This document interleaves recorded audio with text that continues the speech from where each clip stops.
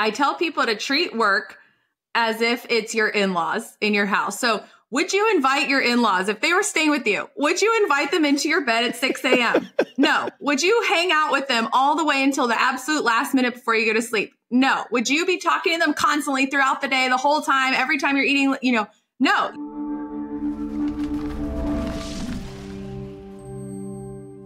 This is kind of the mind flip that you begin this project with, Laura which is you begin by talking about how I, I think it's a weekend and you're sitting on the sofa and you like binge watch, I think all of Heartland in one, yes. one day. I love and, Heartland. and, and, everybody's like, this is so non productive. And you're like, no, no, no, this is incredibly productive. Talk about this mind shift and productivity through Heartland. Yeah. So when I do a speaking event, I start by saying, you know, close your eyes, think of your most productive day ever.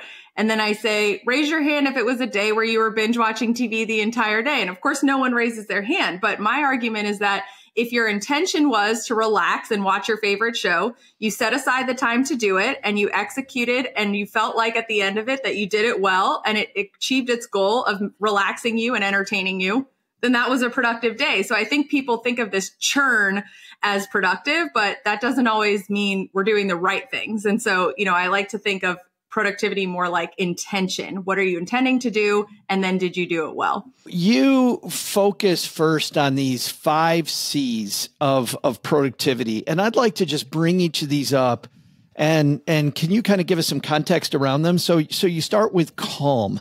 Mm-hmm. Why do we start there?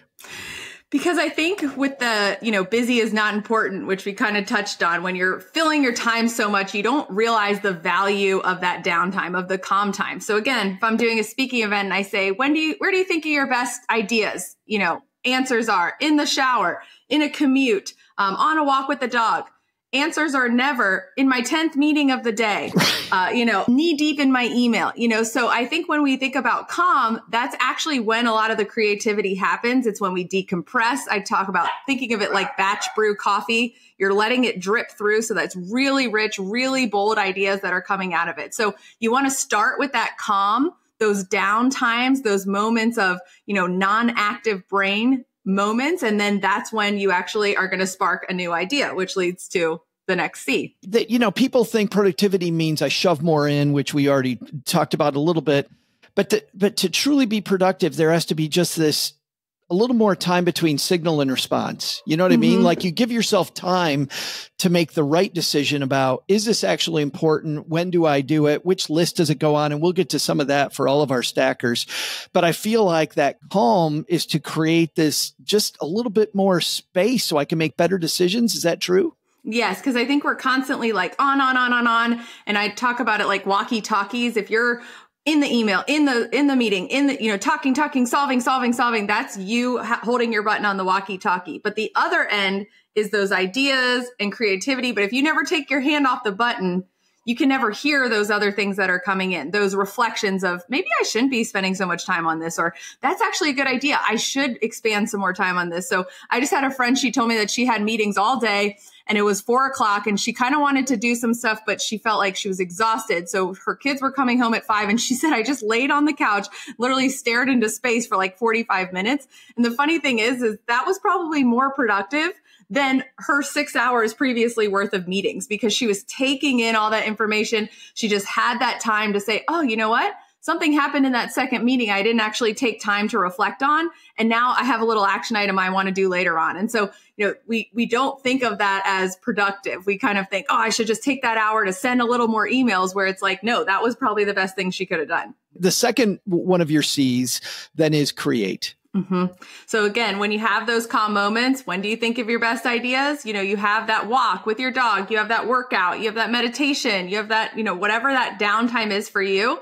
That's when you do come up with your ideas. So you say, Oh, I've been meaning to do this, or you know what I should do? I should ask this person to do this, or I should do this for my client, or whatever it is. It, it comes to you. It's that inspiration because you've let your brain rest. It's that really rich, rich coffee that's now dripped through the batch brew, and you have those ideas. So the you know, sometimes the best thing you can do is have those calm moments if you need to be more creative, need to think bigger picture, need to have more vision for your organization, whatever that is, the the calm moves to the create.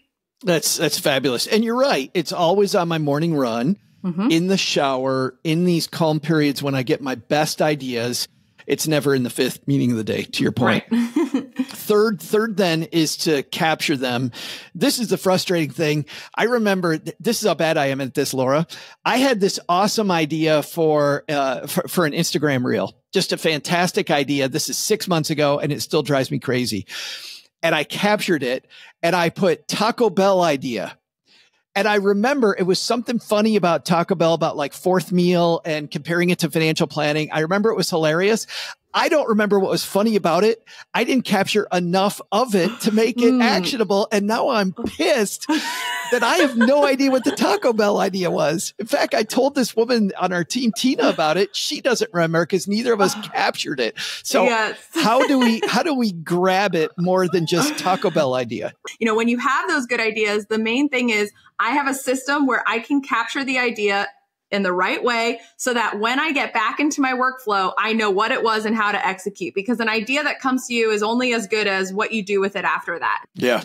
When um, you you have a good capture system, so I use voiceless. So I'm on a run. You know, I can tell my wearable device, okay, add this to my list, and I use my voice to create an audio note of what I'm thinking. Or when I'm in the kitchen and my hands are totally covered in my last egg, I can say, hey, you know, to my Google Nest device, add add eggs to my grocery list. So it has to be available anytime. It can't be like one piece of paper that's on your desk at work. It has to be something where you can constantly funnel in the things that you're thinking of. No need to kind of organize them at that point. This is just to get them out of your head in a way that you can understand. So I do that sometimes where I say add cheese to my grocery list. I ask myself like what type of cheese was I even talking about? So I've learned over time to get more and more specific. Like, what is future me going to need to see on that list in order to remember what to buy? So I think you get better over time with how you're classifying your ideas. I I, I love that, and I watched a, a, pretty badass video of yours too, where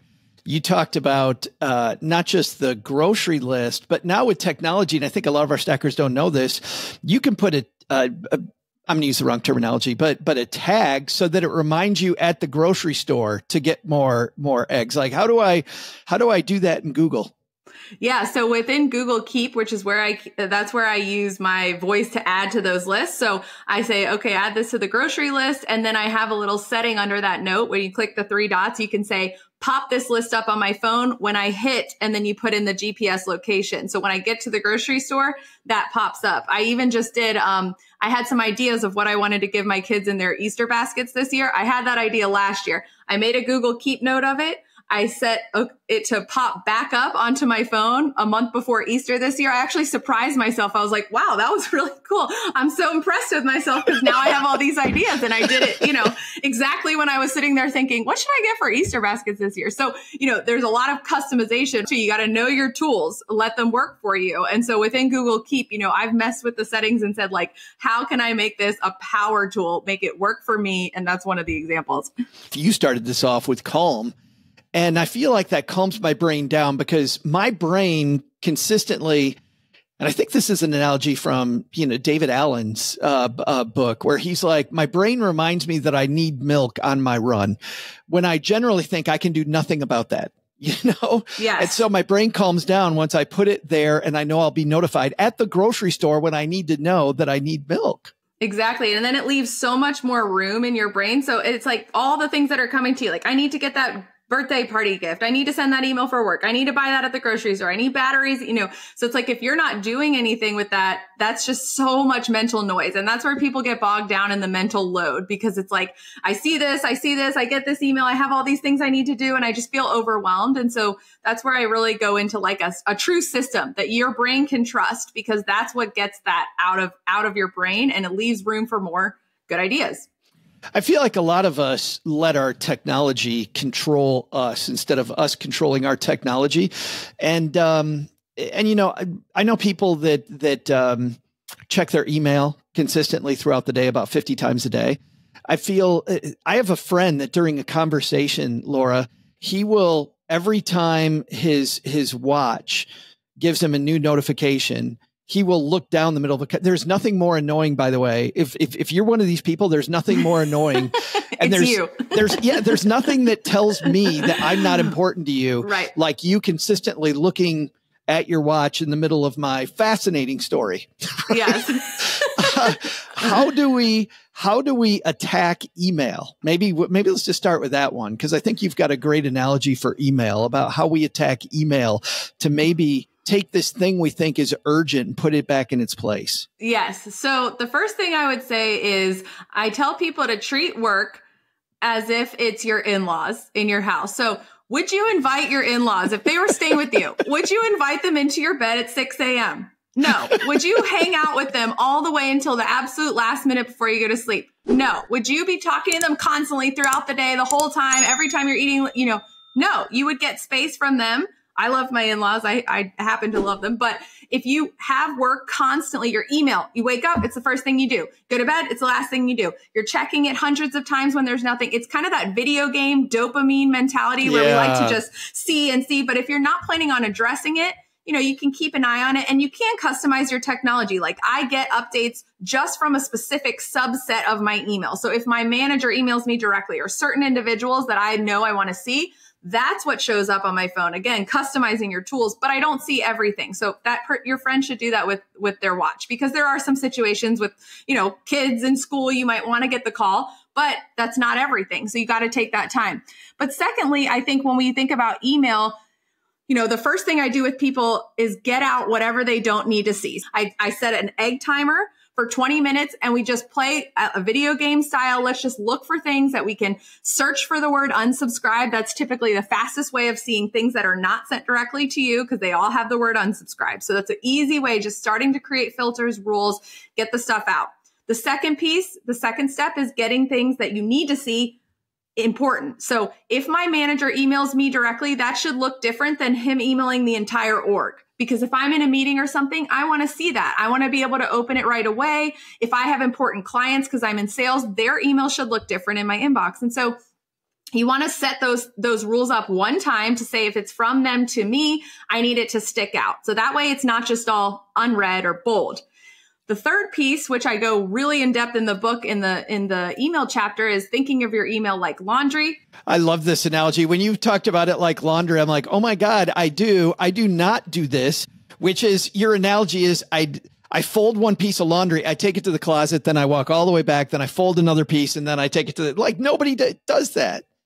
Exactly. So if you if I told you this is how you're doing your laundry, oh, then you then you take out one sock. You don't feel like finding the other sock, so you put it away. You find this is my favorite. You find a pair of wet pants. You say, uh, I don't want to deal with this. So I'm going to throw it back in with the dry clothes. That's what you do when you mark something as unread when you've already seen it. You're telling yourself, I'm going to throw it back in there. Then two seconds later, you grab the same pair of pants. You're like, wait a second, I already touched that. Think of how much energy that's being wasted there. And so I feel like if you if you think about your laundry you know, you take everything out. You put it into piles based on what you need to do. Fold, hang, and and match your socks. You don't, I, I, don't call inbox zero meaning that you've answered every email. No, it means everything's in piles and you've set your future self up what to do with those piles. And so you know where that pink shirt is because you know what? You touched it once. It's in the fold pile. You haven't gotten to it yet. Then you take the time to fold, fold, fold, fold, fold, fold, fold. You find, you know, obviously efficiencies in folding all at one time. And then you take one pile and walk it up to your dresser. And so when you think of your email, you should have the read basket, review, respond. And then those should be the things that you're respond, respond, respond all at once. You're not you're not taking one item here and there. And what people, most people do, they open their dryer 50 times throughout the day to tell themselves, oh my gosh, I just have so many clothes that I haven't dealt with. And then at the end of the night, they turn it back on with wet clothes and they're like, I'll deal with it tomorrow. That is so true. you have a list system. And I just want to go briefly into this because a lot of us have lists. We have uh, inefficient lists. You have a list funnel. Can you walk through how your list funnel works? I've been using the system and the idea of it is that lists are great, but how do they interact? How do they work with deadlines? If you have, like, I just thought of something in my head that I wanted to do in the school year starting in the fall. So it's like, am I going to put that on my list of things that I wanted to do today? You know, that's not, that doesn't make sense. That, so you can't really just have one list. And so it, uh, it's hard to describe, I think, verbally. So I have all these templates on my website, but you start with what I call like a dashboard list, a main list. It has everything that you could and want to do in your life into categories. It feels like it feels like Laura, like kind of just a puke it out list. Exactly. Yeah. Exactly. It's like everything I've been meaning to learn piano. I also need to do this next week. You know, it's just, and the reason it's put into categories is because it's the type of action. So I had, um, you know, all the calls I need to make. That's one section of it. And the other day I got somewhere early. I pulled up that on my phone and said, Oh, here are the three calls. I got 15 minutes. I'll start going through them. Or you have things that are, you know, on the computer. So if you have a few extra minutes, you can go to the computer list and find it. So you start with that, but you don't want to look at that list all the time because how stressful for me to constantly be looking at things that I need to do in the fall. You know, that's not helpful for my brain to see those things constantly. So what you do is you take that top of the funnel, that main list, and you start funneling down. Each Sunday, you say, all right, these are the things that I realistically can accomplish from this list this week. It also helps you see those the things with deadlines. Like I have something coming up in two months. I'm going to see it each Sunday at the beginning of the week. It's never going to get ahead of me. I'm never going to say, oh gosh, I forgot. No, every Sunday I'm going to see it and I'm going to ask myself, is this the time where I need to start prepping for it? From there, you actually create a daily list each day. So you have your things that you hope to accomplish this week. And then the night before you say, here is what I accomplished the next day. So I think one of the downfalls of productivity is having all these things we want to do. And sometimes I'll, I'll do this in my coaching sessions. I'll say, show me your to-do list. And then I'll point to them and say, okay, when do you plan to do that? And when do you plan to do that? And the answer is a lot of the times, I don't know when I get to it, which ends up being at night. And so you want to actually treat those items like scheduling. You want to say, okay, I have to do this. It's going to take an hour and I'm going to do it from 10 to 11 tomorrow. And that means you're so much more likely to do that. And at 10 a.m., you don't have to decide, oh, what should I do? Let me go back to my giant list of things that I need, you know, in the fall. So it's a really focused way of making sure that everything you have to do stays in this ironclad closed system. So your brain knows exactly what it needs to do and what it doesn't need to do, which is equally as important. And that is the beginning, uh, stackers, of the last two on the list, which is consolidating and closing loops. And then mm-hmm. that leads us to more calm and then back into the back into the cycle exactly. again. Laura, thank you so much for joining thank us you. and helping make us more productive. I appreciate it. Thank you so much.